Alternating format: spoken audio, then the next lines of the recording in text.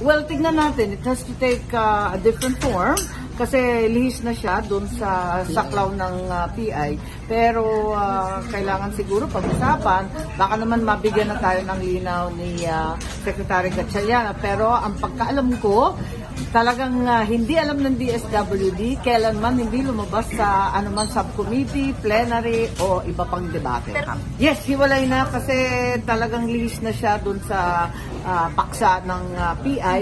Ah, ang, ang gusto ko talaga tutukan, eh, yung constructive, kasi in aid of legislation, ang bagong legislation na magtatakda ng pamamaraan ng tamang PI. Hindi itong panlolokong PI, politicians PI, at ah, kung ano-ano pang peking PI. Gawin na natin yung tama.